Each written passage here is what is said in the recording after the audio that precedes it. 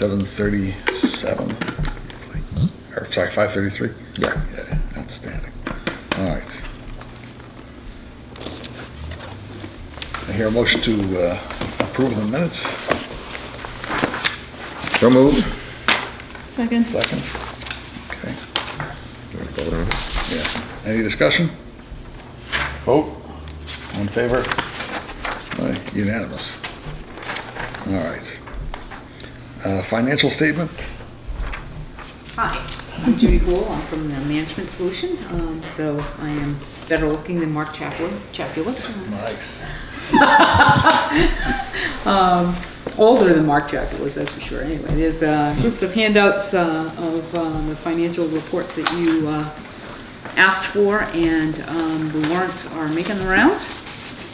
So, um, done some looking at, uh, your monthly expenditure report, and, um, overall, you look in pretty good shape. I don't see any lines that are really, you know, potentially jumping right off the, off the page at me. There are some things that we, um, do need to take a look at.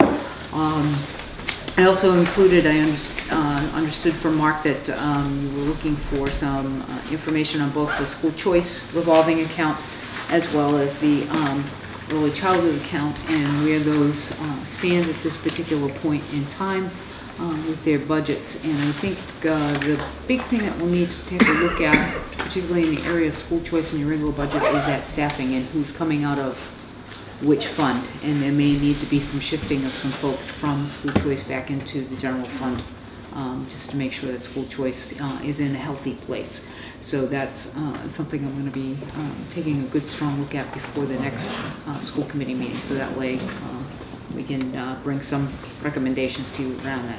Yes? When you say to make sure that school choice is in a healthy Mhm. situation, what particularly are you referring to? You referring to the current year, or are you referring to what balance will be available for, well, starting next year? Yeah, in terms of what would be available starting next year. Because that was our concern in this budget, was that the way the numbers worked, uh, we were using essentially pretty close to everything that was available, which didn't leave you in a good situation for going into the next fiscal year. Right, and that's what we want to be mindful of, and I think we have some wiggle room in the general budget to be able to absorb some of that, so we can live in a little Good. better place. Good. So that's, that's something that, uh, over the next few weeks, I'm going to be taking a, a good hard look at, Thank and uh, making sure that, uh, you know, both the general fund and the school choice fund are, are, are healthy, so. Are these packets that you have here, are they the same thing you you emailed out? Yes. Thank you. So, uh, same thing with early childhood. The early childhood uh, fund looks in very good shape. uh, And uh, just looking at what was budgeted versus what cash you already have on hand, um, you're um, well within uh, being able to cover what was budgeted to go against the early childhood fund. So that, that one looks in really good shape. So um, I would say that those, uh, it's the school choice and the general fund that we really need to kind of take a close look at so that, uh, you know, again, we're making sure that everything's in, in good shape. A few questions on your report.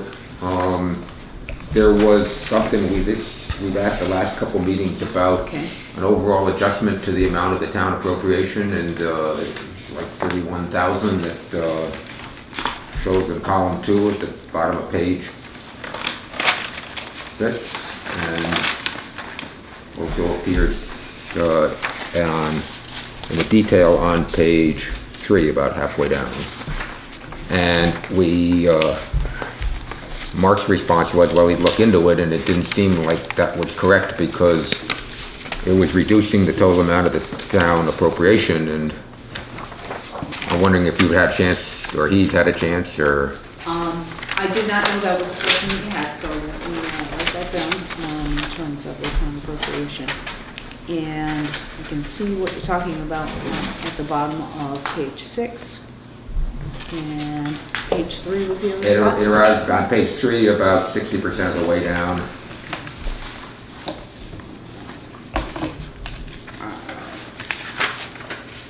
Okay, obviously, if that were to be true, then we'd be hurting real badly, so, uh, you know, um, he's, whatever, it'd be nice to get this resolved for sure. okay. Uh, next question was, uh, the, the figure for subs on, uh, top of page three, or we got some long-term subs going on that are causing this to be, you know, it's being spent faster than, can't be keep that up for the whole year. Yeah, we've spent about sixty percent, and we're a third of the way through through the year. Um, so that has to do with a maternity leave, and we also um, uh, for student support to help um, transition into the school year in a couple different areas in the building. We um, kept someone uh, sub on for a little bit of time. So is that the problem for the year, or is this something that, oh, I mean, maternity leave doesn't last forever, but I don't know whether it's, you know, uh, just a concern, or it's just sort of, who knows? I, I think that's one of the unknowns each year. Um, that's you know staff illnesses that Yeah. in whatever circumstances. So it's um, Judy and I had touched base about that uh, earlier this week and or late last week. It's just something to be aware of. Okay. Um, for sure. We sure. are keeping an eye on it. Yeah. Okay, um. And there was another item, I think Mark was, we asked about, there was the, uh, salaries dealing with nature classrooms on page, uh, four was eighteen hundred dollars shown now posted against account that has no funds in it. So that's about a quarter of the way down on page four.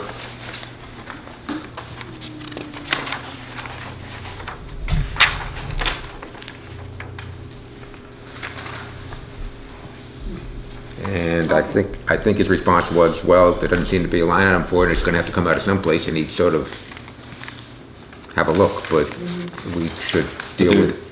There should be a line item for nature's classroom. Well, I don't know what the situation is, and I, you know, I can't remember, because it's not something that's new. It's so if you look, um, if you look uh, three, three or four lines down, uh, uh, 403, Yeah, right? yeah. If I missed something there. Yeah. Just been charged to the wrong line. So We'll get that fixed. Okay, 403, yeah.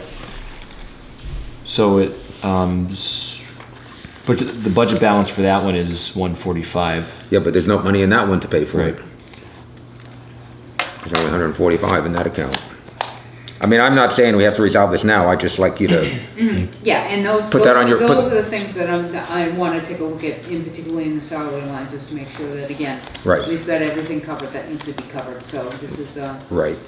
on the to-do list for the next couple of weeks. And, and the next one, just, I'd like you to take a look at, would be on page five, would be the custodial, where is this, uh, it was custodial salaries, and it showed that we've paid over, just over fifty percent of, uh, uh, so far for the year, and that strikes me as, needs to be checked. Um, well, and you're, you know, almost halfway to the year. I know, but Yeah, we're not, yeah, so could you check that? sure. Okay, and then, um, uh, on page five, towards the bottom, uh, there, where are we here, page five? Um, there was a posting on this one of, this is for, uh, building general repairs. It's about, uh, seven lines from the bottom, and there was a posting of seventy-five hundred expense for building repair, and I know there was an item in the last warrant that was for about five or five thousand dollars or something like that payable to Siemens that was for, that's why we have this new line item for fifteen thousand dollars for building testing and security stuff and so on, and it was supposed to go in there, and I think it was just coded to go in the wrong, uh, line item, and it doesn't seem to have been corrected. Okay. So if you could check on that. And um, as far as the uh, custodial salaries are, are concerned, you know, when we have um, someone out sick, you know, they're they're still getting paid for those hours, um, but then the other custodian might need to um, add a few hours of overtime to um, make sure the the building's in work working order. Um, so that could be where the uh, Okay. discrepancy is. I, again, I just, I, I'd li- I just want some, you know, Yeah. for them to have a look and make Sure. sure that there's not, you know, that we understand what's going on, and if we have problems, that we address them sooner rather than later. Absolutely, yeah, this is that time of the year when um, you go back and take a good Find deep things that- dive Yep. and right, just see where okay. you're at. Yep. And then one general thing, and that is that, um, in your presentation here, if you go across the columns, the fourth column is current and the fifth column is year-to-date. And they're always the same because it's, the current is picking up, uh, not the most recent month, but the current is picking up the, in this case, the five year, five months to date. Mm-hmm. Now, when we were getting reports last year, it would pick up, in that column would be something that was called range to date. Mm-hmm. And it was only picking up the one month, so you could see what we'd added in that month.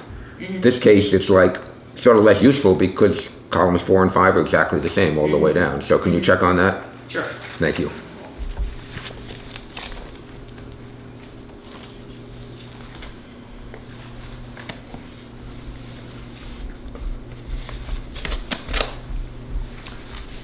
Yeah, Same thing. Huh? Same, the same thing. Yeah, just a different way of putting it. Yeah. Yeah. Anyone else? All right. Uh, Public comment. Ben, I don't know if this would be a good time to mention, uh, Yeah. Sure. Um, so earlier, earlier this fall, one of our Sunderland community members uh, passed away, uh, Guillermo Kohler. Guillermo was a Sunderland resident um, who did not have any uh, kids, but was deeply invested in our community and school. Um, he was someone that uh, devoted his life to helping others, whether it was through um, helping organizations run more efficiently, um, doing consulting work, um, or volunteering his time at Sunderland Elementary School, where he served on the school council. Um, he assisted on the school council. He helped with numerous projects um, around the school, including mural design, and um, was the mastermind behind our beautiful perennial garden out back. Um, so I put um, you know a little tribute to him in the Sunderland Sentinel earlier in the year, and I just want to uh, read a, a few lines from it. Guillermo was an exceptional artist. In fact, hanging on the wall outside of our front office, you will find a piece of Guillermo's work featuring the Connecticut River as viewed from atop of Mount Sugarloaf. The last time I crossed paths with Guillermo was at our town meeting this past April. He provided our community members with an inspirational speech where he helped to advocate for our school's early childhood playground project. His efforts helped to secure seed funding for the project, which is now in full swing. Although this amazing man has left us too early, his legacy will long endure. He was a selfless individual, someone who always gave more of himself than could ever be expected to be returned. He made the lives of those around him better. When we do, in fact, cut the ribbon on our new playground, we like to think that the smiles on the faces of our students are saying, Thank you, Guillermo. Um, he, was a, he was a special person, and I had a uh, chance to um, speak with his widow Dale, Dale Schwartz, and um, we're, we're planning a, a tribute da- down the road. Um, the first being our um, Arts Night celebration, which is coming up later in the year, and we plan on dedicating that night to him. So, thank you. yeah, Okay. That for the minutes. yeah, you have. Okay. Yeah. Unfinished business, update on the playground. This past uh, Friday, last Friday evening, we, um, uh, myself, Peter, and met with um, members of the playground committee, um, including um, some town stakeholders, um, a local carpenter, um, a selectman, um, members of the, a member of the CPA committee, um, a couple parents as well. And we, we had a, we received the final concept from Berkshire Design Group in early November with the playground totaling around $411,000, which is very expensive. Um, however, we hope to significantly reduce the cost um, through grants and um, labor. Um, so right now, we're in the process of going through the line by line components of, of the quote and see, figuring out where we can um, save money. The part, a big portion of the cost of the playground is the safety surface. And starting January 1st, 2019, there will be new regulations um, coming from the state as far as what is an ADA compliant surface. Just so happens that the town is um, working with uh, the local ADA chapter and applying for a grant. And we had a, another meeting with um, from all the departments in town earlier this fall. And so we will find out about that grant sometime in 2020. Is that correct, Peter? What you said? Sounded like it wasn't gonna be, it was not gonna be Immediate. two thousand It was not going to be, but um, sometime in the first half of 2020, um, and that would go towards the the poured um, poured surface and uh, playground mulch that are that are included in the design.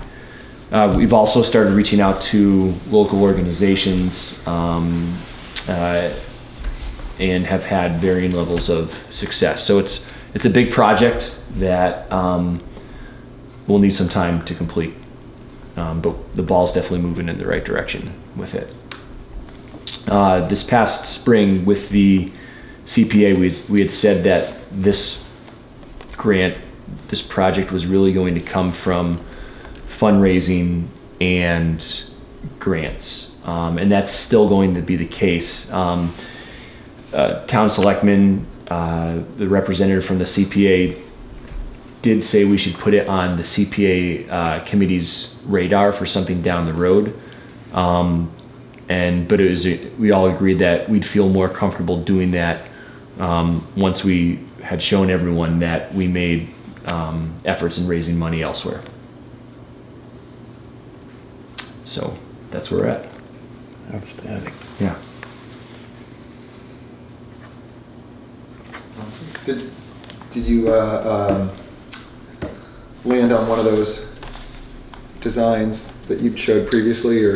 or Yeah, and and the third, the last design was was tweaked, um, and the specific um, play structures that were quoted um, are ve- are very high. Um, so we're not, you know, married to any of those, um, and so there's definitely areas that we can. Um, can we can tweak and we have the town support um, through the highway department to do any work and removal of the old fencing and the old structures it's just a matter of lining everything up um, i've already been in contact with uh, do so trucking and they'll help out with um, in one way or another uh, all states materials group um, who sponsors the pound the pavement road race each june um, has said they would like to help out as well um, and once we get a, a final number of, um, as far as um, pavement and the biking path on that, we'll, we'll go to them and see what, see what they can do. Outstanding. All right. Building maintenance update. Bob Lesko, uh, Director of School Facilities. Hand out, make it around to everybody. Here somewhere. It's disappeared. There we are. All right. Bob. Both or? you- Yeah. Yes, there you go. It's-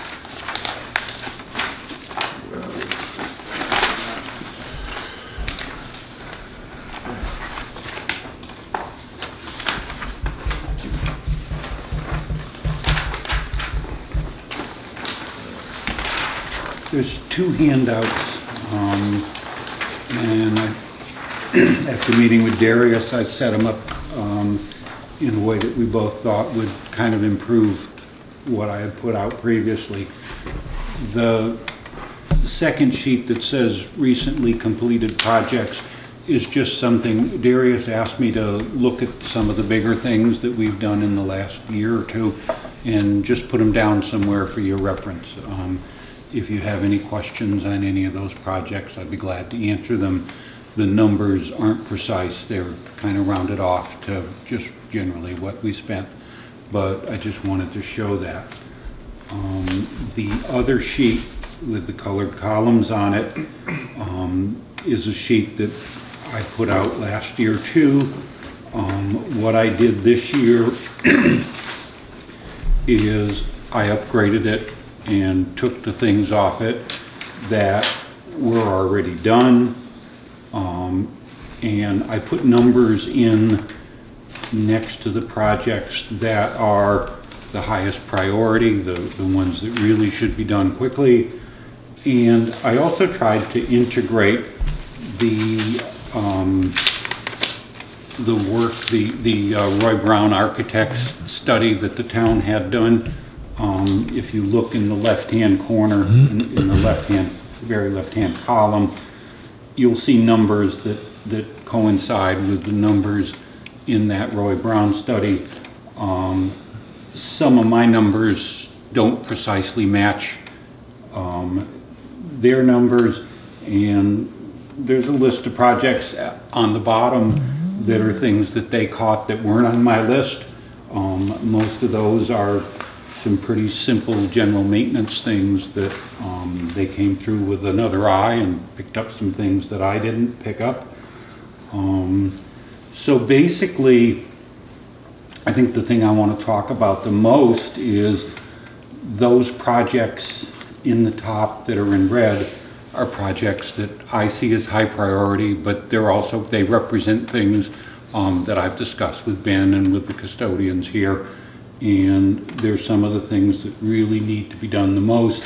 And they're probably a greater group of projects than would get funded just this year. So I tried to list those in what I consider a list of priorities.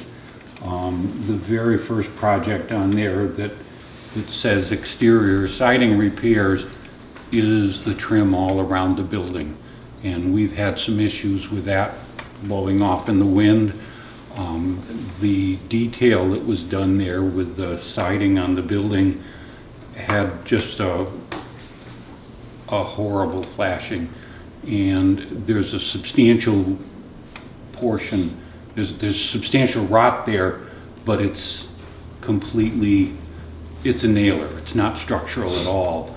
But if we don't get that fixed, we're gonna have that stuff blowing off every year, and it, it just, it- people, I get a lot of concern from the community when sections of that come off, especially, you know, they, they look at it, they see it blowing off, they see the rot under it, and they're very concerned about it. So I've had a contractor working on the building this fall. Um, we did a project in the back, um, that was funded through the town, um, through, through their insurance, where a good deal of flashing blew off the gable end of the building. And we had that redone just a couple weeks ago. Um, the contractor that did that did a really nice detail where he replaced the siding that we have, the vinyl siding, with an AZEK trim material. Um, It blends in perfect, it looks really good, and it's structural compared to what we had, so it'll last a long time. And that's generally what the plan is um, to do with that exterior siding. I did put a kind of a side number there that the entire project, if I add up all the estimates I got, is seventeen thousand five hundred. And I would recommend doing as much of it at one time as we can. But what really just absolutely has to be done, in, in, in my opinion, is twelve thousand dollars of it. Um, The next item on the list is some exterior door repairs. Um, We've had a couple of doors to the outside of the building that haven't latched, latched well and have given us problems where we can't secure the building. I recently had uh, New England Door Closer in to do some repairs, and they said the doors themselves are pretty good, and it's not a wholesale hardware thing. They can, they can fix it for a reasonable amount of money. Um, I stuck a small amount of money in to deal with some of the recommendations that came out of the uh, air quality assessment that was done recently in the building. They wanted us to tear up some carpeting and, and replace some ceiling tiles and some other water damage things.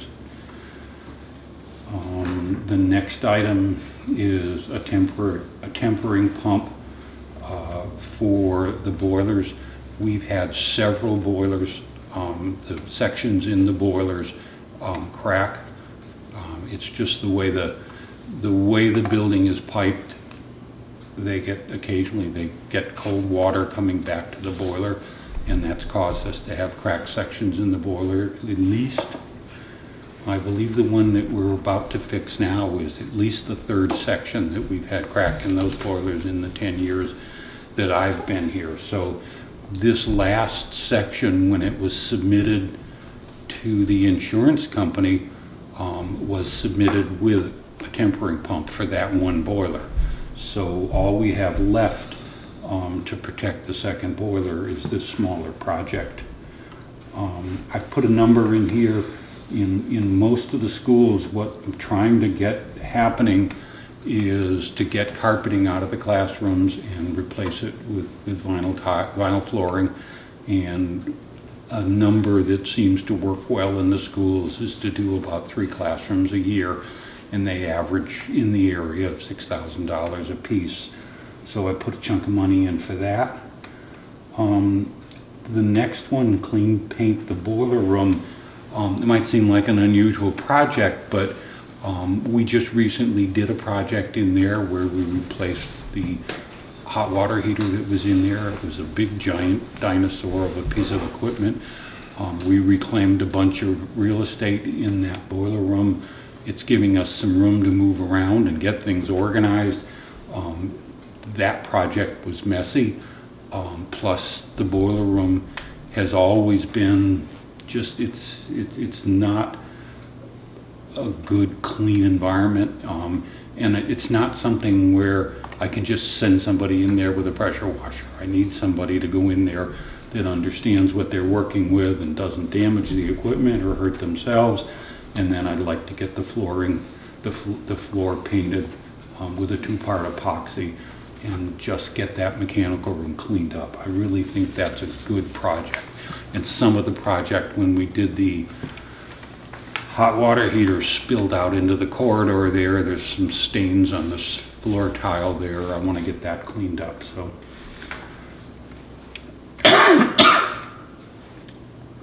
The oil tank stuff is, is just some safety things that should get done.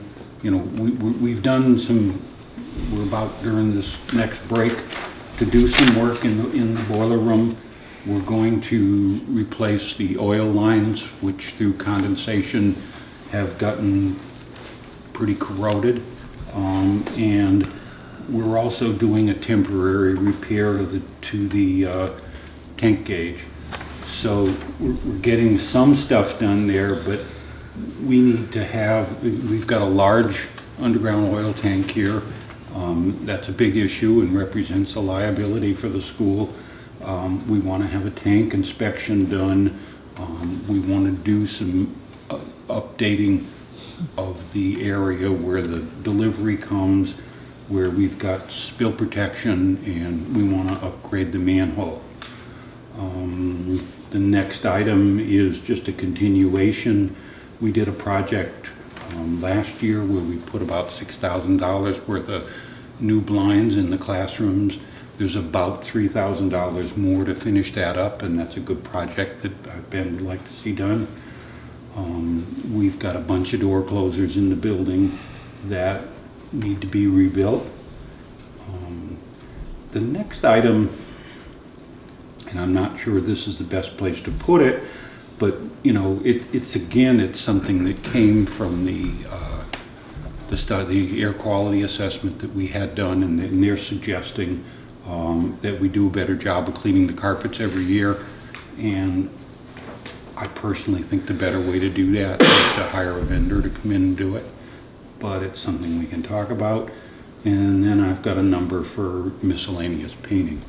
Um, Again, I don't know that this, this whole list is something that can be funded, and, you know, when I get some feedback from this group and and Ben, we'll ask the town for um, some capital projects to cover some of this, and then historically, some of these projects get funded with um, fiscal, you know, when we have funds left at the, the end of the fiscal year.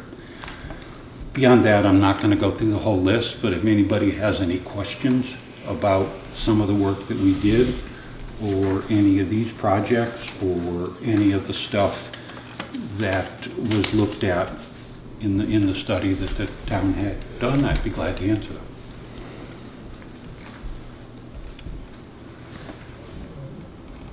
Yes. Um, I've been the committee's rep to the town capital planning committee, and you came last year along with Ben and, um, when we requested money for the hot water heater replacement and the security cameras. Uh, that process is gearing up to happen again. Uh, and the, uh, requests from various town departments, including the school, is, uh, are due by, I think it's January 7th or 8th or something like that. And the rules are that they are to be capital projects, and by capital projects, they mean generally stuff that costs at least 10 grand and is gonna last for 10 years. And, uh, so there's, you know, obviously it's in our interest and I, and, and, and in the town's interest too, to, to take a, you know, make a submission of highest priority stuff that we've got to go in there. And that sort of needs to be decided pretty soon here. Um, I'm not saying that if something changed, you know, at our next meeting after we'd already submitted something, we couldn't go back in and say, well, hold it, something's come up and we want to change our submission. I'm sure, you know, they wouldn't, that would be, that would be okay, but we want to play by the rules that they've set. And in terms of getting our initial submission in, uh, and the, and the initial, and the submission is supposed to be, uh, both the particular project or projects that you're asking for funding for this coming year, and also a three to five year plan, you know, which, bingo, that's, you know, we're, you've, you've done all that work and so on. So just a question of, uh, picking, you know, what possible things are, again, the constraints being that it's capital and it's not just sort of repairs. So, you know, a number of these things are clearly just repairs. And secondly, that, that there's a, you know, ten thousand dollars is sort of the bottom line, a, a lower, lower limit, because under that, it's sort of like, well, maybe you should be dealing with that stuff within your own budget or, you know, whatever. But so, you know, and there was one case last year where the library had about three different things that they combined to get it over the ten thousand dollar limit, and it was considered to be, okay, these are all dealing with the building envelope, and so they could be, a case could be made, or a case was made that that's an acceptable project. Um, but so I don't know whether you, uh, so we really need to have the discussion now as to It's- what we want to submit. So just, that's why we're here. Right, So that's why Bob is here to talk about. right, so what would your, what would your suggestion be to actually submit to that? For sure. I, I I think that first project of the exterior siding work does meet the, the description of a capital repair. Because it will last long enough. Yes. Okay. So I, I- think that's one that I definitely would put in there. Um, Beyond that, um, there's probably some projects that have to do with the boiler room where we could combine a couple of projects. Um, There's a project just off the one-year list, um, which is window replacement. It's something that, you know, Ben and I had a discussion about today. That's gonna be a larger project. That's probably gonna be a seventy or eighty thousand dollar project. Um, I can try to work that number up a little tighter, um, in time for the, uh, capital process, if that's something that this group deems a good project. Um, I believe there, there's a lighting project that- that, that, excuse me, fell on my list and on the energy committee's list. I think they're going to the town with that. Um, I was surprised by the number um, in the town study on the LED lighting. They had a number of about $200,000. Uh, The number that the Energy Committee put together um, with a vendor that they bought in is probably a $50,000 project with 20 or $30,000 worth of funding um, from the utility. So they're going to be looking for $20,000 to do that project, and I think it's a great project. Um, But I don't, I- I'll talk with them. I don't think this is the right time, place, process to submit something like that. Yes. And likewise, the one you said with the windows, you know, one can always, one can always submit stuff even realizing that it might not get, uh, approved first time around, but just to get it on people's radar. Okay, yeah, I can, I do that. Um, I'm trying to think of some of the other ones that are bigger. One of the things that we're eventually going to have to, you know, the, we've done a ton of work on the boilers in this building, um, through the insurance company and through these pumps. But the bottom line is the boilers, um, in this building are older cast iron sectional boilers. They're not horribly efficient. Um, it, it really, in the not too distant future, I would say the next three to five years, or as soon as possible, it would be really prudent to, to look at a project. The boilers in this particular building are similar to many of the other schools where we've got two large boilers. Either one of the two can pretty much handle the school. So what we've suggested, and a project was approved um, with some funding, I believe, from Green Communities in Deerfield, um, where they're, they're, they're gonna replace a boiler. Um, you know, basically, the way to do it is to keep one of the old boilers, because these old cast iron sectional boilers tend to last forever. They're just very inefficient. So what we're doing in Deerfield, and I think it's a great project, is we're gonna put two smaller modular boilers in place of one of the, one of the two bigger old cast iron sectional boilers. That'll give us some real high efficiency by having a good turn down and being able to run one smaller boiler and then bring on the second one and it gives us a little additional backup too. So at some point, um, either this year or next year, you know, the, the number that I have in here now comes from some, some general consulting studies we had done here in the building. Um, but they had actually, they were suggesting three small boilers to replace one of the big ones. And they had a number there of about $130,000 um, I got a couple questions, Jay. Um, I'm not totally familiar with it. What is the town's commitment to the projects identified with the numbers on the Roy Brown study? I don't, we know I'm not sure if the town has any commitment. They're just. The, the town, the process at this point is that uh, at the last meeting, they were, you know, basically it's, you know, I mean, they got us a spreadsheet that it's sort of like, okay, taking all the buildings and all, you know, what number of years it's gonna be and trying to plug in all the projects and figure out, okay, how much does it mean each year that you, we gotta come up with capital spending, so on, and that was just sort of, first pass at that was what was shown at our meeting like a week ago.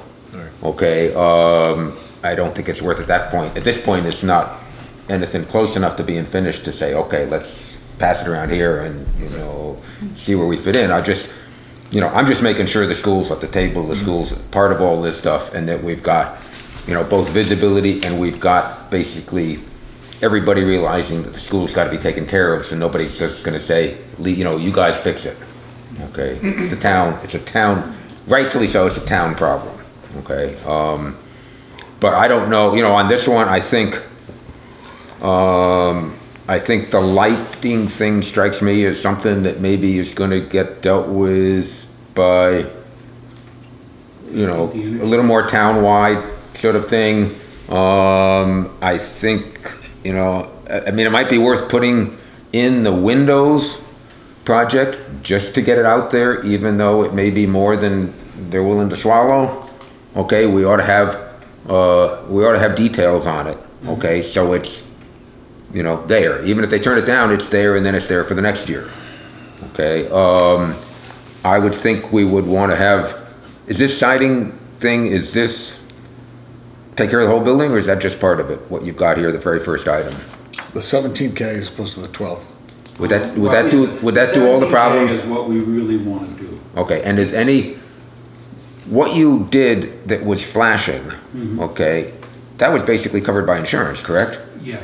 Is there any possibility of insurance covering any more of this? I don't see it happening. no. Okay. What, what happened with the flashing, flashing is the wind blew it off the building. Okay. What's going on around the perimeter of the just- building is, You had those, is you rock. had that picture for those who don't understand, Yeah. if that's, that you showed me, it just, it just, it's a visual, and if you Right. haven't, if you're talking flashing and you think it's Is not- an inappropriate thing that happens, The, the, this is the, this is the trim piece here around the building. It- it- It's very prominent and you can see it, but that's the nailer board that's behind it. It, it, you can just take handfuls of it out.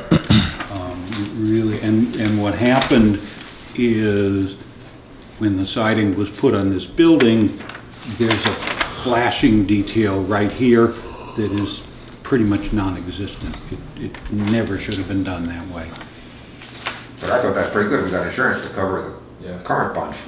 Because the wind blew it off. Whatever, it- No, instead no. of costing us eighty-five hundred, it cost us a thousand, right? Good, it, yeah, yeah.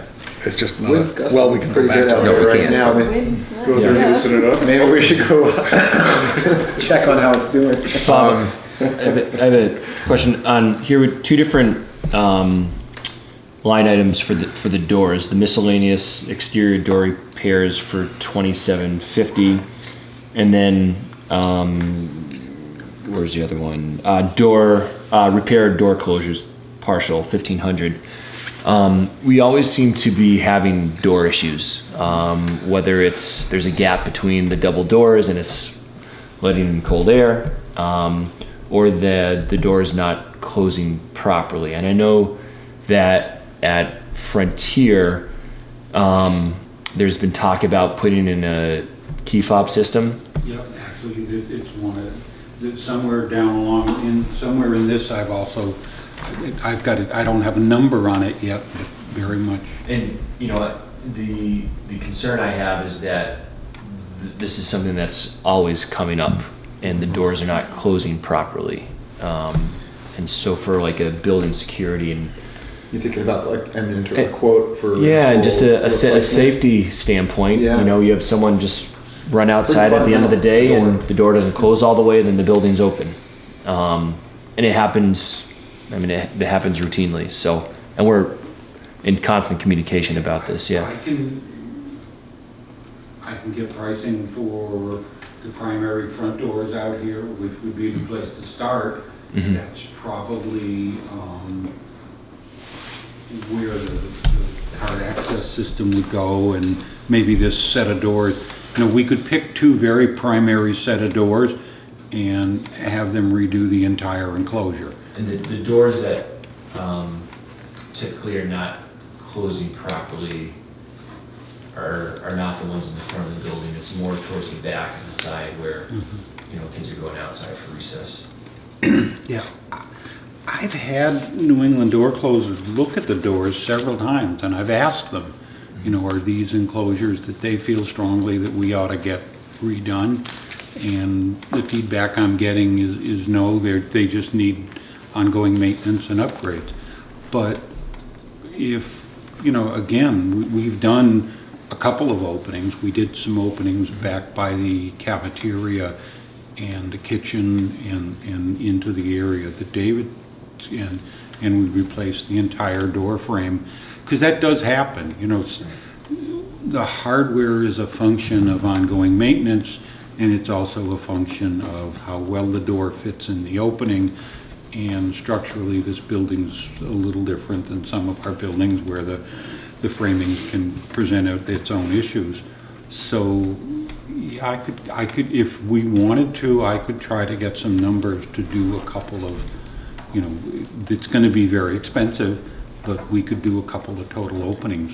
Um, Are there any grants for stuff like that? I wonder, like, in terms of the, uh, like, improved efficiency of, of doors that now compared to the ones in terms of? Usually when people are talking about efficiency for energy on the doors, they want to give you a couple of bucks for weather stripping and that sort of thing, not Not- an entire door. For real, yeah. You know, basically, what we've done in the high school is we've picked some of the primary openings that have just gotten worn down um, from a lot, from time, and we've totally replaced an opening. We've done that in a couple of locations in Deerfield Elementary. So, What's the yes. ballpark on a, Pardon me? Do you have like a ballpark on doing something like that? Or even just like a double door set, like that, that goes out? You're probably talking fifteen to twenty thousand dollars for a double door set like that. That, and that's, that's a guess off the top of Yeah, my head. yeah, I get- yeah. Because everything's different, you know, the, the, the doors in Deerfield are, are set in a brick opening. Here you've got wood framing with a metal door. So it's something that, yeah, I can try to, if, if there's a real interest to try to get it funded, I can get pricing on a couple of complete openings. How does it, how's it after repairs? I mean, does it seem like, I mean, I get that, like you repair one and then of course the next one goes, but like, do they, once they're- they get repaired, do they seem to, then does that seem to last? Uh, Temporarily. Yeah, so the same doors wind up being a problem not too distant future. Hmm. I mean, that's, that's a basic kind of security. It it is, and it, it worries me a little bit that we're hearing, no, these doors are fine. In terms of, I would hate to replace them, invest that money and get doors that are sim, like, you, you still have the issue. Right. Um, so and then on top of that, and what Ben's thinking is he wants, you know, speak for you, Ben. Ben wants a key fob system like what other the other schools are starting to do. Um, you know, it's, it'd probably be good to see how it unrolls at Frontier and Deerfield. We're in the middle of the project now, and hope to have it completed by by by the time snow comes off the ground in the spring, so to speak. Um, they're supposed to kind of within February is kind of the game. Is that still the window February for the Deerfield? So Deerfield and Frontier are doing done at the same time, um, and they kind of combine that project with the same vendor. So um, it'll be interesting to see what we what they're doing there. Look what they have for that project. But one of the big issues was you don't put a key fob system on a damaged door. Right. You got to build it, and so that's was the holdup at Frontier for the last two years because they put money about two years ago out of school committee. We had to repair all the doors, and it cost more to repair the doors than it was to put the key fob system in. So it's kind of like so they had to go repair all the doors, put new latching systems out. They just get hammered by 700 teenagers every day, and so we had to put you know um, you know things there. So the same kind of idea here is that we really should be looking at the multiple stages of the project and saying, okay, what are they going to? Then the other thing is, you when you go to a key fob system, is you reduce the number of doors that are exiting this building that are accessible by the staff. So what goes to the playground? What are the main entrances? You know, a couple here, here, maybe one in the back, and then you don't have nine entrances to a building that are entered. You know, you still have your exits, but you don't have those as entering day in day out. So we have to kind of go through your map and see what that looks like. Look at the condition of those doors, upgrade those doors to be able to handle the key fob system, and then do the key fob system. And maybe that's a two to three year plan within that. You know, um, We have um, four access points in the building right now um, where staff punch in a code to get in. Um, the fifth access point would be the front door that does not have a code. so you're looking at a Yeah. five five point entry. That's Yep. about, it's similar to Yep. Deerfield's six or seven, I think, but.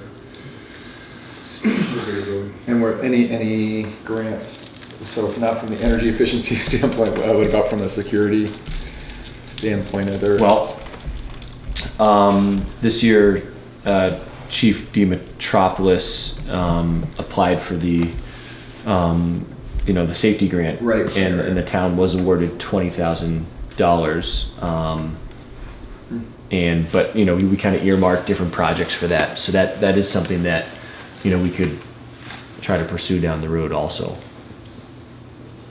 But I think the limit may have been twenty thousand dollars per submission. Right, Yeah. get us a doorway. Get us a hole, one hole, yep. Fortunately, doors and especially hardware, commercial hardware that you have in school, crash bars and special hinges and Yeah. all of that is, is really, really expensive. And then what we've been doing, when we've been doing openings, is we're trying to set them up so that they're gonna function when we do the card access. So we're, Yeah. we're putting in electric door latches and that sort of thing. Yeah. Are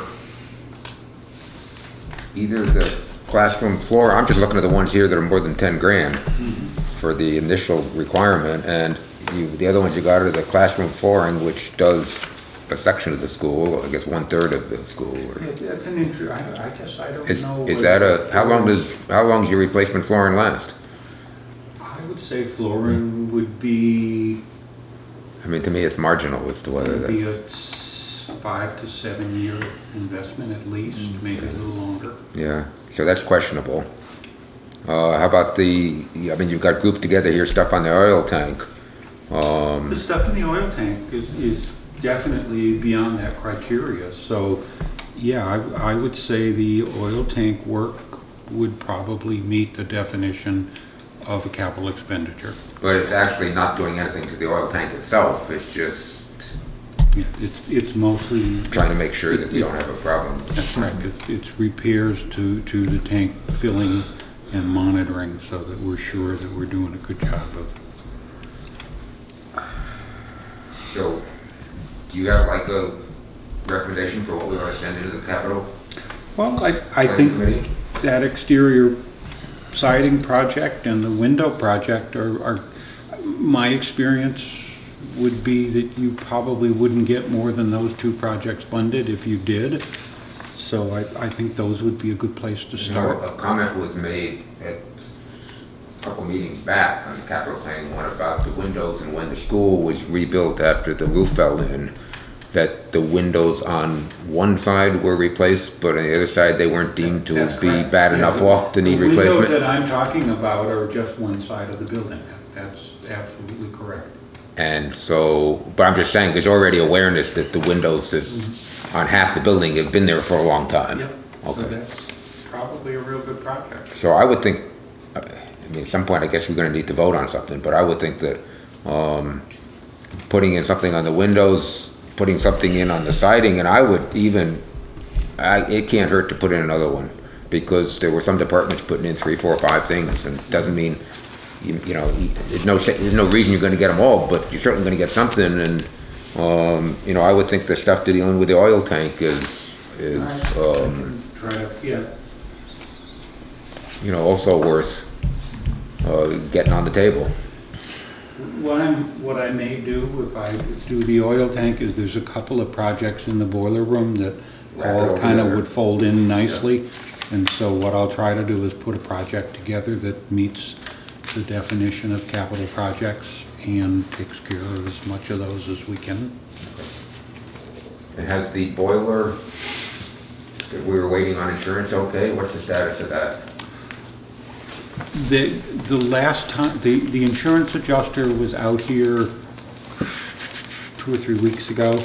He assured me that it was going to get approved, so I went ahead and told the vendor um, to go ahead and order that boiler section. Um, I've been back and forth with, with the town about the best way to do the purchase order and how to pay for it.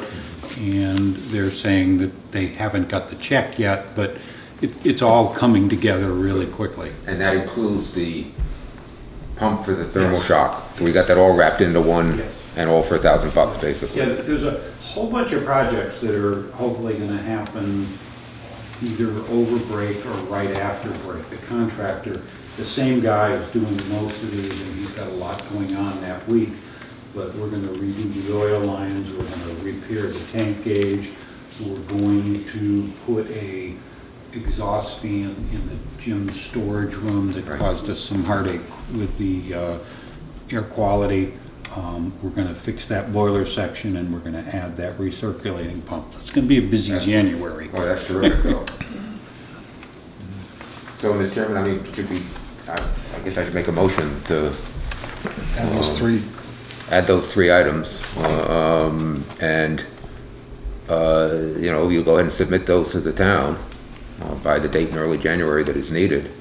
And then, um, you know, I'll follow up with the committee, but I would imagine there would be a time in February or March that your attendance at a meeting to answer questions, explain these things would be useful like we did last year.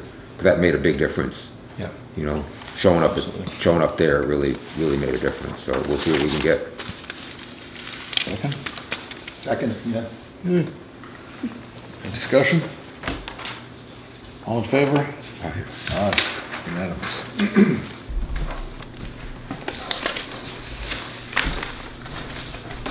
I just wanted, to- the only thing I just wanted to comment was on the Roy, whatever his last name, the architect there. Right. Ju- Just, just very interestingly, that with the priorities we had versus the priorities he had and we weren't even on the list. Just, I just want, to, for you to know, when people come, you know, if you're another, as town members, you know, they're thinking, people saying, what about that thing? It's just, it's, it's just interesting that two different people are looking at the same thing and coming up with different priority levels. Um, You know, and, and some of them, some of them, as we, you know, Bob explained to me, make, that makes sense that we could address that. Other ones were, um, you know, talking about raising the, um, raise the pavers at, one- at one inch in front of the entrance. Well, they're not pavers, it's stamped cement, and we're not gonna be raising that an inch anytime soon. Um, You know, stuff like, you know, so some of them don't make complete sense and within their list, and then as, you know, in, in, and also within this list, you, Ben, Ben has had feedback too, Bob, about what are priorities as you look through and say, well, you know, you know, sometimes you look through and, and the public may say something about, well, blinds, you, you know, why do you need to upgrade blinds? And Ben will tell you that that's a priority in some of the classroom. If you have a, a nap time and you don't have, can't make the room dark, or you can't, you know, safety reasons, if you're on the front side of the, you know, those kind of things. So just, mm-hmm. you Yeah. know, there's, there's, there's reasons and thoughts and there's conversations behind this. Now, Will there other stuff here we get done through operating budgets, or is there not really money to do any of this? The- You know, usually the, the, these kinds of projects either get funded as a capital project, or they get, toward the end of the budget year, I start looking at what's available, and I'll do a little extra, and then usually with the business manager, we'll look at the entire school budget, and if there's additional money available somewhere, and there's support from this group, these are, in my mind, these are really good projects. All of the schools have the same problem with these kind of mid-range projects, is a lot of them don't meet the criteria for capital projects. But if you add them all up, they're huge amounts of money that are very difficult to cope with through other, through the operating budget and that sort of thing. And I think, I think you hit that on the head, Bob, it's the same problem we're having a, within the Frontiers capital, the bigger capital improvement plan that they're trying to put together is that there's just this long litany of small items that you could call deferred maintenance or, you know, certain things, or just wear and tear on a twenty-year-old building. There's a lot of two thousand dollar items, you know what I mean? They just kind of add up and you can't address that many in a single budget year without expanding a budget and, and, you know, we have all the other kind of things that, you know, strains on the budget, so maybe we have to start bringing, you know, I don't know, as Peter mentioned earlier, kind of maybe we gotta start grouping a few together that, you know, call this a safety list or this, where we can mm-hmm. kind of do that kind of a thing. I don't know how the towns are gonna feel about that.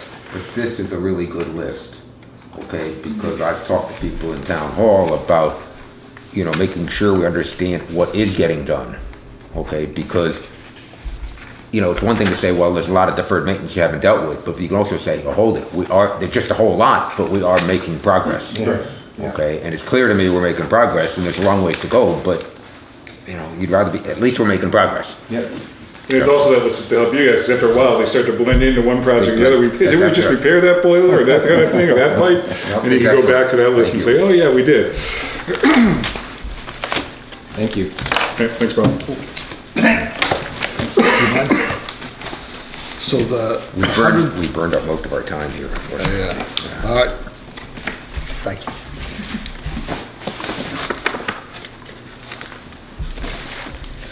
What's the hard stop? Uh, fifteen minutes. That's when Darius has to leave. That's when Darius has to leave. Right. Very good. Kind of, so- Understood. I got girls varsity at seven thirty, I'm just saying. When you were Rural late, I said, school "There's a aid?" girls' game tonight, maybe that kind of. Rural school aid? Rural school aid. So I, right now, we, uh, we're given a packet by the state that we have to fill out, um, up to five pages explaining how we're gonna use this, the four thousand dollars to help, um, uh, uh, regionalize and, um, you know, somehow create efficiencies. So, um, if we're typing that up Spent the first thousand on the report. that the first thousand on administrative costs to get the report done, but, um, it's actually, um, I actually saw the draft of it today, because Louise Law is working on that, um, for me, um, because the- some of the money is being used as part of the efforts between the different schools, and so, um, that's kind of why we geared it that way, but, um, so that should be submitted, the deadline to submit it is February first, so hopefully if we submit it earlier, we get the money earlier, but we'll see where that, that comes out. But I just, I was thinking that, I don't, can't remember if we said that the money is gonna be used, I, I, I would hope the money's not being used to start up something that's then gonna have reoccurring obligations in future years. We're, we're, you, you. So, I, We- and that's we all. bought- We bought social studies curriculum that we were already planning on buying, so we're gonna be able to shift the budget to just pay for that. Great. Um, that we're buying across the district, so, Great, and, and it'll be, thank you. or a portion of that, there'll still be a, a thousand and a half left, I think, or something else. Capital project recommendations? We've done that. Yep, that's fine. Feel, feels done. Update on security system. The uh, final quote that we signed off of um, for the security camera system was eighteen thousand seven hundred two dollars fifty eight cents. Uh, this was a capital project we put in uh, last spring, and we were given fifteen thousand five hundred dollars. So the difference will be um, made up in the safety grant um, that uh, Chief Dimitropoulos and I worked on together. Um, so now the next step is um, Scott Paul, our director of technology, will um, schedule is scheduling the um, installation. We are uh, pricing out additional go bags so that we um, have them in all of the learning space. Have the go bags in all of the learning spaces throughout the building. And after that is priced out, we submit the bill to um, Chief Dimitropoulos. He'll order it, and then he has a couple projects, safety projects at the um, public safety complex, and as well. And then we'll figure out how much money is left over. Um, we will at least be able to cover the um, three thousand two hundred two dollar difference between the final quote and what we um, applied for for the capital project. Outstanding. I gotta talk to you about whether the, the, the water heater one came in four hundred and seventy-five over what we were allocated. Can we take another four seventy-five out of the safety grant, or is that not gonna happen? Um, I don't know if that would qualify as a safety. No, he's talking about adjusting, Adjusting, adjusting the amount from the safety grant to the safety items in the school So we- by five hundred, and then shift that money to. so basically take the same amount, yeah, right. Take, take more of the town's money to pay for, uh, an extra four seventy-five of the town capital money to pay the full cost of the water heater, okay? And have, therefore, four seventy-five less to the security stuff, and make that up from the security grant. That seems like it would make sense. Is that doable, do you think? Sure. I mean, is there enough money in the grant, do you think? Yeah, we'll have to find, oh, there's def, absolutely enough money in the Okay, grant. well then I think we should try and pursue it that way. Yeah. Okay, thanks. Yep. You guys gotta go, right? No, I'm, I'm sending Judy up first, and then Okay. you can get started with that. Send, send me an email about that and we can, We'll do, yeah. we'll do. Yep. I said yeah. School lunch financials. School lunch financials, that should, that was part of your packet that went out. Um,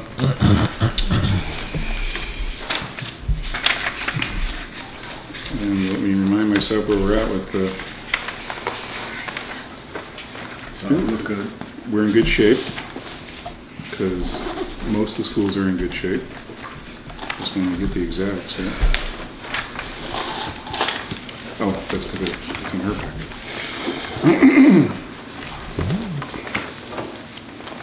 Here we go. All right. Um, So at the end of November, we are, um, we are up sixteen hundred. Um, which is in a good place. Sales are good. Um, are you guys, I don't have my notes in front of me on that. Have you, um, got the online system up yet? It's up and running. Letters were sent home to families this week, today, yesterday? I think last week we got them. Last week, yeah. So the online paying system is in place, or is being pushed out there, and that'll, that'll help us with collection and, um, it's also a convenience fee, there's a convenience for the families, there's also a small fee attached to it, so they can still do the traditional way of bringing in a check, or if they wanna just go online and they pay the, the service fee, I think it's a bucks, buck and a half. Twenty-five, I think, something But, you know, for each time you do a transaction on there, they get a, they get a service fee. Um, I know I do it with my kids, at my kids' school, it sends you an email reminding you your funds are low, and it's just one of those things where it's one less headache you have to deal with, but you have to pay the small fee. Some families will enjoy it, others may not, but it, it's one thing that's, it's certainly, Part, part of the school lunch, um, debt right now is coming from, um, some families that moved out of town and no longer go to school here. Um, so just something to be aware of. Probably not gonna be Gonna collected. No. close there, yeah. yeah, I mean, that's a, that's a real factor in the sense that there's, all there, don't want to say there's always, but there's, there, there are fees that we will, not fees, but uh, lunch revenues that we may never collect on ones that go overdue. They get high enough, you know, there's talk about using collectors, but, um, your school's in a tough position, because you're not gonna have a kid go hungry either. So, um, that's where we're at.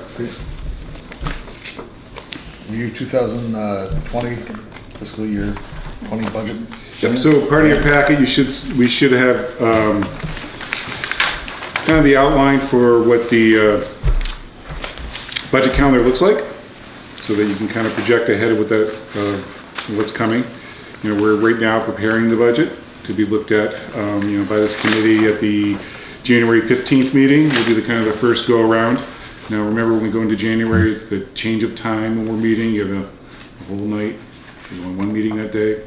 Um, only one school committee meeting that day, um, for, um, for January, February, and March. So, you know, we're gonna be putting that together, we'll have some general, by the fifteenth, we may have the governor's budget.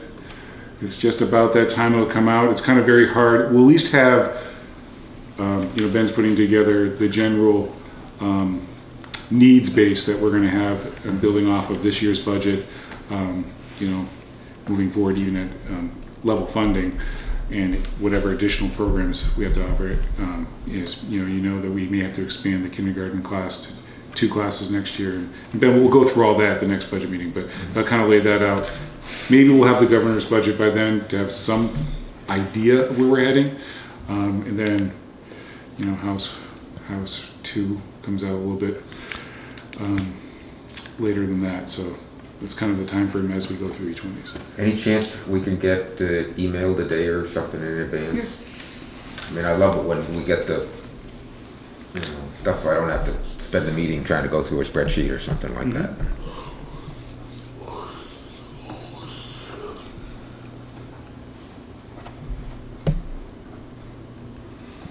Yep.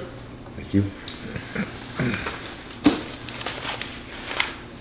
And then obviously if we have problems in there, we have to have other meetings, we'll have other meetings or, I don't know the history of Sunderland's budget development as the elementary school, so, but, all right. Usually we're able to do it in the regular. Do you want to, do you have to go or do you want to give your report? No, I can my report. Is there any, what else we have there? French financial budget timeline? We move stuff around a little bit Yeah. to accommodate the schedule. Just an FYI, there's, moving forward, there's, the executive session is on the agenda, so anytime we want to go into executive session to discuss how negotiations are going, that'll be on there moving forward. Um, right now, we've only done the meet and greet, so that's actually part of my, um, my superintendent's report, that was part of the packet. Um, so just done the meet and greet, and so we're, you know, setting up for the next meeting, I think it's, is, I'll be honest with you, I don't have it top of my head, it's mid-January. So, um, when we get started there, if we ever want to do a check-in or, or that kind of thing, that'll be on all the agendas moving forward during negotiations. Thirty-first. What's that? Thirty-first? Thirty-first. Thirty-first, and we have a, we have a meeting prior to that to do more strategy. It's like the fifteenth or something like that, twenty-third. All right, um, so that's where we are there. Um, the sale of Christian Lane and the file storage update, um, it's being, our files are being moved tomorrow, so a big exciting day. Um, being moved out of there and I'm in contact with the buyer of Christian Lane to move forward because it's a multi-deal with the town. Um, you know, he's gotta work with both sides to get uh, everything kind of lined up as once. Um, I talked about collective bargaining. Um, I posted the business manager position, uh, the contracted position for the second half of the year because the the bids had to go out. So bids will be open on Friday. Um, We've had a few people take out the bids, so we'll see what happens, but that's for the second half of this year. At the, just to kind of keep you all up to date, at the January 22nd meeting, we have to make a decision whether or not um, we are going to look for another business manager. That's on the agenda, and the superintendent being interim, that's on the agenda um, as well. So that's, you know, just a reminder to mark your for the 22nd meeting, that's what's happening there. Um, The chairs are getting together, my understanding, to have a discussion, to develop the agenda for that meeting, so they have some kind of idea what they're doing there. So talk to your chair if you have concerns or ideas regarding that. Um, I gave this, the Superintendent Academic Excellence Award to Ms. Emily Laws, um, and she'll be recognized at the Front Next Frontier meeting. And, excuse me, attached two letters that were sent to the commissioner, um, both one from the collaborative and one from the town of Conway. And I just thought, um, you know, it was interesting that the town of Conway took a, um, uh, took a stand to, um, you know, to bring uh, attention to the expansion of the Chinese immersion school. But I thought the collaborative letter has a lot of information in there that can bring people up to speed, if you're not up to speed, of, you know, what the concerns are. And there was a, if you saw the Gazette, we, we submitted a, a, a statement as well in the editorial, I think it was a couple days ago, um, as well, um, just, just in the concerns. It's not the, it's not the mission of the charter school, it's the funding formula and how, um, it's, it's- it's pitting schools against each other. Um, That's not where we want to be, so we're hoping they recognize that. That is my overall, if there's anything else in there, questions on that list? Uh, Are we gonna, at the joint meeting on the 22nd, um, we're making some decisions supposedly about your situation? Correct. Correct. So, um, my contract says for the interim is that you will let me know by the end of January whether or not you're going to open it up, um, and what the process is gonna be moving So we forward. should be prepared to come there and argue whatever case we want to make without, but in fact, there's been no sort of interim evaluation process or anything like that. I think that was And that talked was about at some discussed, point, but it right. sort of never seems to have. And that was, yeah, it was discussed without, um, at the last joint meeting in February? October? October. Um, October. Yeah, was, um, you know, what would they want to prepare before that? I was told to give a, a list of everything I'm working on and what I'm doing, so, Okay. you know, um, again, the chairs can do something prior to the meeting, and I think that's, you know, where they have to come up with, uh, we have no, there's not a formal system that's been used over and over again in this kind of thing, and so the idea of the chairs coming together and deciding how they want to move forward after that is kind of where we're at. I mean, I'll just say here that I've been uh, very pleased with the work you've done. You. And uh, you're, you obviously have the knowledge of the district uh, from all your time at Frontier uh, and so on, but you've been, uh, uh, you've been responsive to, to anything that I've seen that this school is needed and responsive in a sometimes, you know, smart and imaginative way. So, uh, yeah, I've been very, very pleased. And, and so I, uh, you know, I hope that the joint committee um, perhaps feels the same way, and we can just, you know, plan on having you here for, you know, a long time to come, but that remains to be seen. Yeah, I appreciate it, but I also understand it's a process, so Right. I'll let them do that Right. process, and Right. I, you know, I have to say all that, but I appreciate it. Um, yeah, so that's, that's on the agenda there, and then the other thing is, the other big thing is whether or not we will go with, toward a, um, posting a business manager position or not. And so I will, I will present information at that time, um, as well, with, where my opinions things should go, and then, you know, again, with the school committee decision on how they wanna move on. Is Judy, Um, Judy, if you don't know, if you didn't recognize the name, she was once principal at Sunderland Elementary. there you And I was go. gonna, I was gonna bring that up, I was gonna bring that up, but I Not wanna mine. embarrass her car on the Right. spot, but that was, um, that was before or during the building project. That was. She was before Martha, Marty Barrett. Eighty-nine to ninety-one. Okay. Okay, so around there, but, um, and she's also a former superintendent, so, um, the nice part of that, she has attention to detail. Um, and so her and Mark are working together now. Okay. And so it's kind of the, there's a good balance of the, Good. there. Um, I also appreciate the fact that when I say, this is what I'm stressing about, she understands.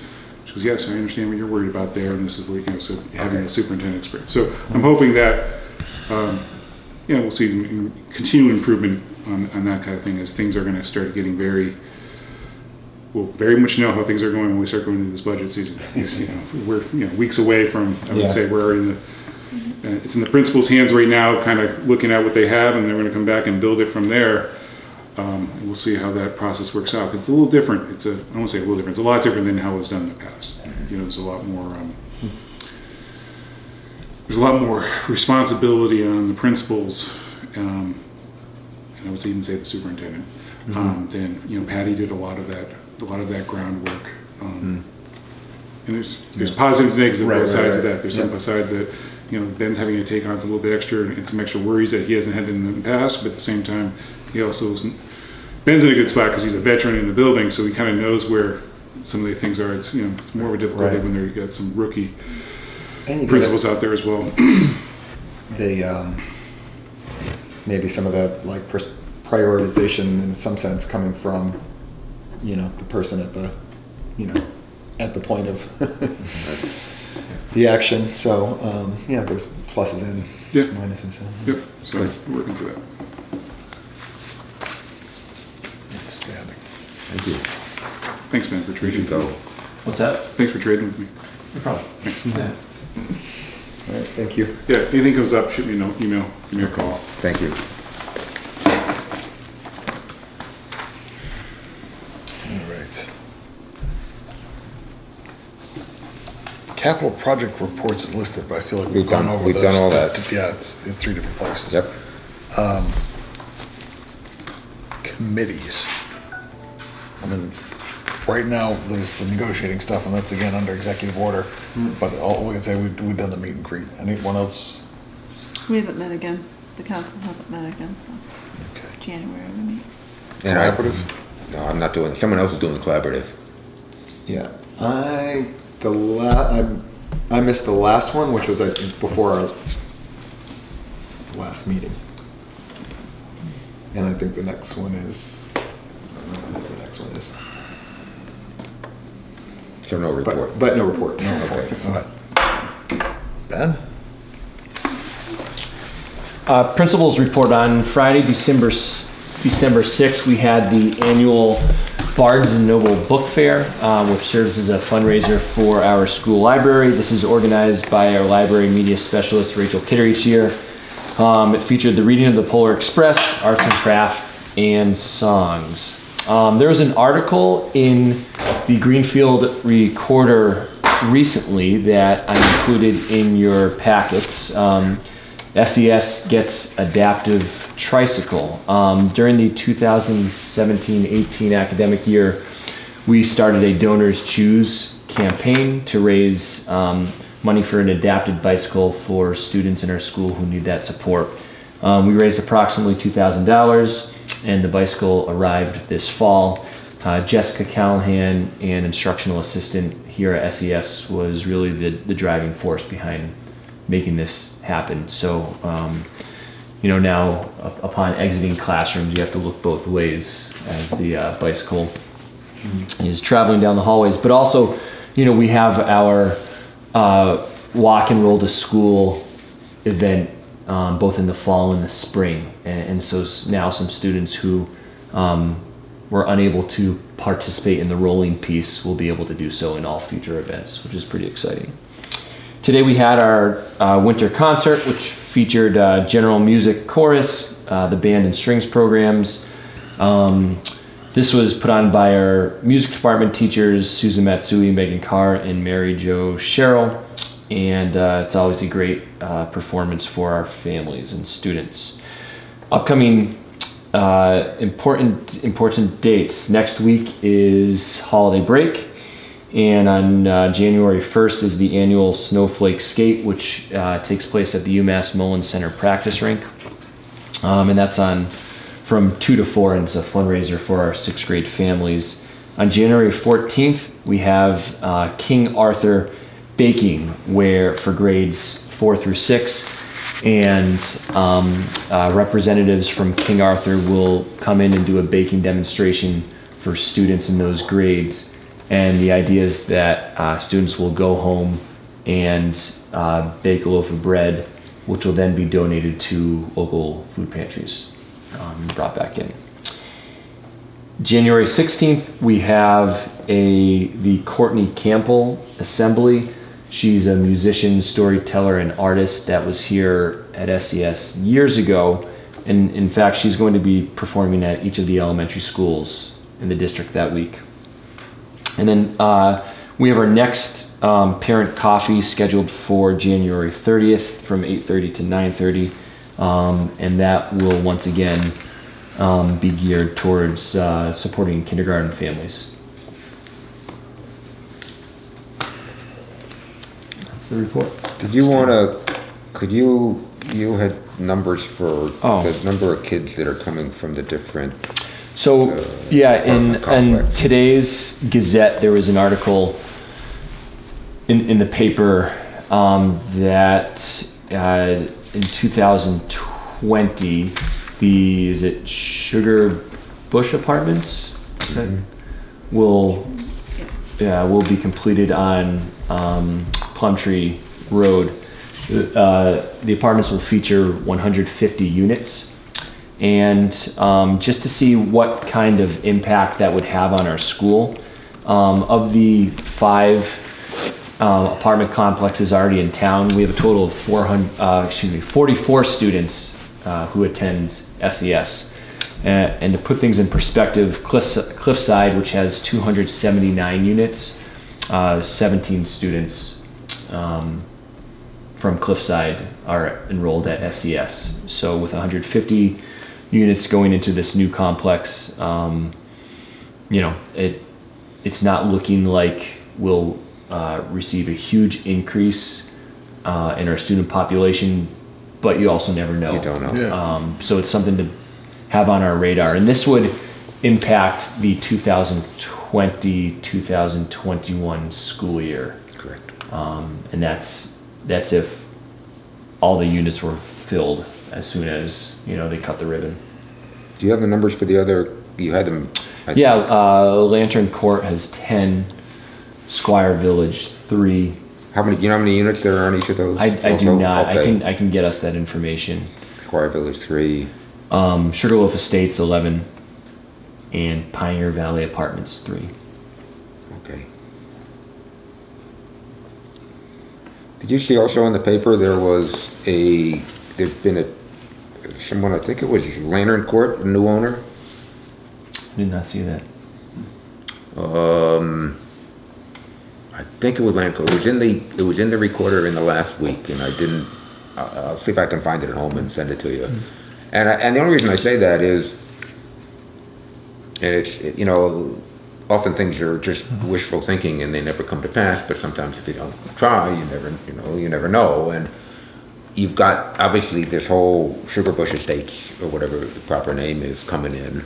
Somebody's spending a lot of money on that to do something in the town. And then you've got this guy who just bought, I think it's Lantern Court, okay, spending a lot of money. And, you know, people, one assumes they want to be good neighbors. And, you know, at some point, making an approach for them for help with the kindergarten, with the uh, playground.